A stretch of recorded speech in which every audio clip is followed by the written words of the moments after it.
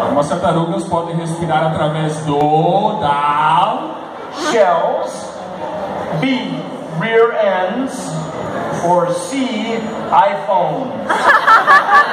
elas podem respirar através das suas conchas, das suas partes traseiras ou dos seus iPhones.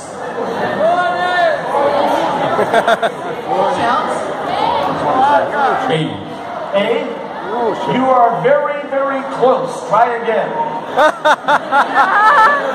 B, rear ends, yes. How, how do you say that in Portuguese?